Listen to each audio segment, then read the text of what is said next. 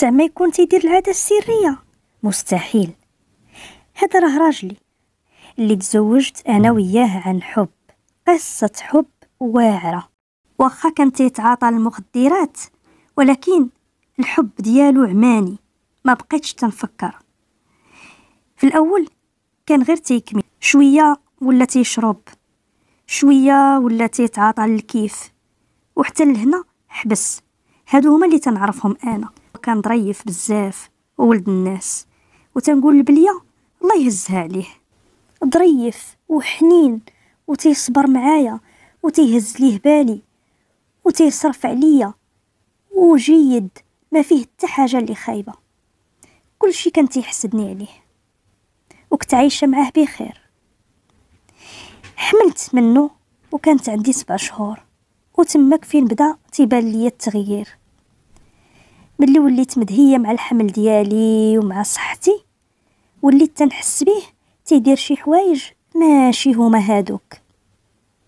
بعد المرات تيدخل وتيسد عليه ومع غير أنا وياه في الدار تنبقى نقول ويلي علاش تيسد عليه؟ ياك لاباس. وهذا الشيء ولا نهار على نهار تيكتر. كل نهار تيدخل يسد عليه نص ساعة. وليت حافظاه وعارفاه حتى معاياش تيسد عليه؟ ايوا ما نكذبش عليكم يا خوتي. تنوض ووليت غير تندور في عينيا. بزاف. السيد شي طبيعة هادي ولفها. شكيت في الأول في العادة السرية. تنقول هذا اللي تيدخل. مقلق وطالع له الزعاف وتيخرج ناشط وفرحان. ما يمكنش تكون شي حاجة من غير العادة السرية. وخاصة أنه ما بقاش تيبغي يقربني كاع. تنقول له كيفاش أنت ما بقيتيش تبغي تقربني؟ تيقول لي لا ماشي على شي حاجة. أنت حاملة وقربتي تولدي وشهرك السابع هو هذا وما تنبغيش نبرزطك. تيقتو. ولكن بقيت رادة معاه البال حتى لواحد النهار غير هو سد عليه وأنا بقيت واقفة على الباب. هو حل باش غيخرج من بيت الناس غيجيب شي حاجة. وأنا دفعت الباب ودخلت عليه. لقيتو حاط طبسيل فوق الناموسية وحاط واحد الكارطة. هذيك الكارطة اللي تلعبوا بها الروندا. حاط وحدة. والله يا خوتي ما فهمت شي حاجة. واخا حصلته ما فهمت والو. حتى نقول أو ياك ماذا تيدير الشعوذة؟ ياك ما ولا يضرب الكارطة للناس؟ ما فهمت والو. وهو اغتان من الفرصة أنني ما فهمت والو. صافي بقيت ساكتة على القضية. حتى تلاقيت مع واحد صاحبتي. عفريتة. وأنا نقولها ليها. قلت لها يا أختي راه شنو لقيت وراه شنو لقيت؟ قالت لي ويلي راه تيشم. قلت لها ويلي تيشم؟ قالت لي تيشم الغبرة. ويلي على تيشم الغبرة. هذاك الشيء أنا كنت نشوفها في الأفلام. قالت لي وردي بالك. والله بنيتي ولقيتي داك المنظر بحال هكاك. إلا وكان تيشم الغبرة. ما ديتهاش فيها أنا ديك الساعة. قلت يمكن عاد تخربق. ولكن مع المدة عرفت بأنه تيشم الغبرة. وبأن حياتنا تدمرات وتبدلات وتغيرات. السيد ولا تيشري داك الشي بالثمن ولا قاسم الماندا في النص. النص ديالها تيشري به المخدرات والنص الآخر تنصرفوه في الدار. وبزز مني. وإلا ما جابهاش عرفوا بأن غتنوض القيامة في الدار. ولدت ولدي. ما درتلوش حتى السبوع. لأنه خاصو باش يشري الغبرة. والسبوع غادي يضيقو. شرا الغبرة وخلى السبوع. وزاد الوضع تكفس. ولا تيجيب حتى صحابو. وتيشمو كاملين في الدار. وأنا ساكتة. ما قدرت ندير والو. حيت أصلا ما عندي حد عندي غير هو. الوالدة اللي كانت عندي توفات. وبقيت الله كريم. تنطلب الله تنقول يا ربي تهز عليه هاد البلية. ولكن هو ما بغاش يتغير وما بغاش البلية تهز عليه. هو باغيها وحامق عليها.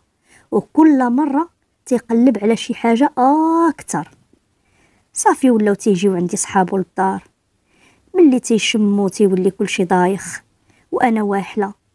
خايفة عليا وعلى ولدي. مخبيه بيت النعاس ساده عليا. ما تنقدرش نحل. تنخاف لا يمشيو يديروا فيا شي حاجة. واخا هما تيبقاو غير دايخين ولكن أنا تنبقى مخلوعة منهم. بقيت هكاك. في الأخر باللي شفت القضية تعوصات وهو ديغرادا في الخدمة لأنه تيمشي دايخ وتيدير شي فعايل ديال ديال شنقول لكم؟ ديال أنهم خصهم يطردوه يحمد الله اللي ملي غير ديغراداوه صافي ما بقيتش قادرة. قلت له نتفرقوا قال لي إلا ذكرتي الفراق نقتلك. أولا غندي الولد ما تعرفيه فين مشى. بقيت أخوتي جالسة مع هاد السيد تحت التهديد. ما تنقدر نمشي لا هكا لا هكا. تنقول إلا خرجت غادي يجيب صحابو. وغيدير ليا شي جريمة في الدار. وإلا بقيت في الدار تنخاف منه ومن صحابو لا يجيو ويديروا داك المنكر اللي تيديروا ويديروا لي شي كارثه عاوتاني في الدار. المهم وليت واحلة. وزاد الوضع تكفس. ملي ولاو يجيبوا معاهم البنات. والبنات قداش؟ غير صغارات. بنات 18 عام و 19 عام و 20 عام. وقل كاع وكلهم تيشموا. حتى النهار اللي وقعت لي الكارثة الكبرى. نهار اللي توفات لي البنت في الدار. كل شي دايخ كل شي طايح. صافي غير طلع الصباح بقاو تيفيقوا في بعضياتهم. إلا واحد البنت اللي ما بغاتش تفيق وأنا جالسة في الكوزينة. تنقولش هاد المكتوب طايح عليا يا عباد الله. آش هاد الوضع فين وليت عايشة مع هاد الراجل؟ حتى جات عندي واحد خيتي. قالت لي عافاك عطاني شي طوبات السكر. قلت لها ياك لاباس. قالت لي هاد البنت اللي معانا راه فيها مرض السكر وشناها كاع ما بغات تفيق. وما نكذبش عليكم تخلعت وأنا فايت فيا السكر مع الوالدة وتنعرف كيفاش تيدير. جيت تنجري بديت تنخدخد فيها البنت والو باينة عليها إما كوما إما ميتة. بدينا نكبو عليها لما ما خلينا ما درنا ليها والو البنت ميتة. أنا تخلعت وخا ما متيقناش صافي عيطت للبوليس أنا اللي déclarيت. صافي جاو ديك الساعة تيجريو الحمد لله هذا هو السبب اللي أنا خففوا عليا الحكم وخرجت بكفالة. المهم في الأخر أنا خرجت بكفالة لأنني عاودت لهم الوضع ديالي أنني كنت مضغوطة وأنني كنت مزيرة وتيقول لي إلا ما جلستيش وسكتي غندير لك وغندير لك يعني كنت تحت التهديد.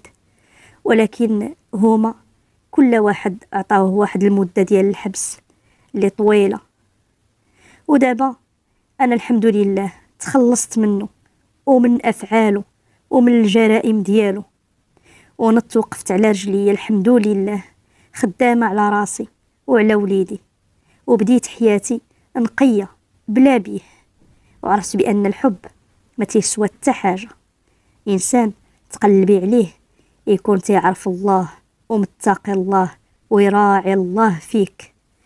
وهذه هي قصتي وهذه هي حكايتي. وإلا عجبتكم قصة اليوم ما تنساوش تدعموا القناة ديالنا بالاشتراك وتفعلوا الجرس باش يوصلكم كل جديد ودمتم سالمين.